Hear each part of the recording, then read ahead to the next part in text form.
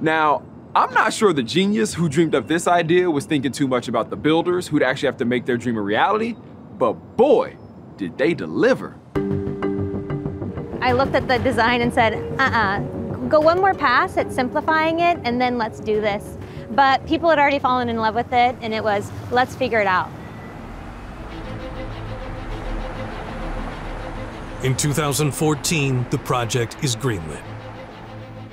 The first challenge for the engineers is figuring out how to make the 2.5 acres of man-made park, weighing tens of thousands of tons, float above the Hudson River. Once the engineers have surveyed the riverbed and cleared obstructions, the enormous job of creating a solid base for the new park begins. First, a marine crane brings a concrete pile into position. Each is 3 feet in diameter, up to 200 feet long, and tipped with a steel spike.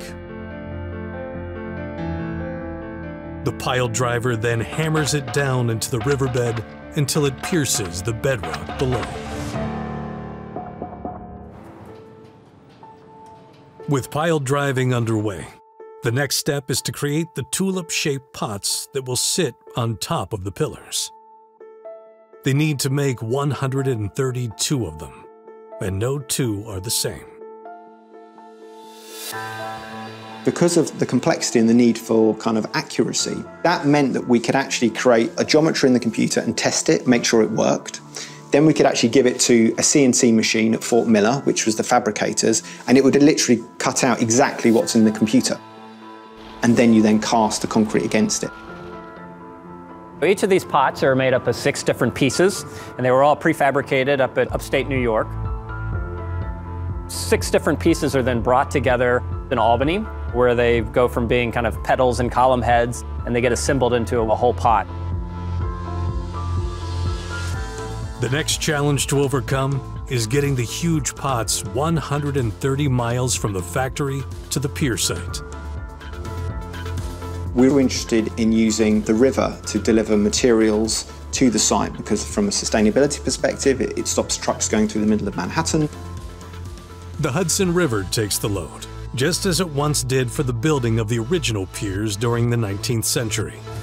They bring materials in via barge, they work from the barge, they have a crane on the barge, you know, so it really is full marine construction. With the 132 pots in place on the pillars, the team focuses on turning the concrete island into a mature riverside oasis. To oversee the design, they bring in landscape architect Signe Nielsen. By using 3D computer modeling, Signe could design a plan that would be nearly impossible to fully visualize in her head. One of the things that I would have my staff do is literally walk me up every path and every curve so I could see what the slope was next to me, the slope going down away from me, where I wanted views directed.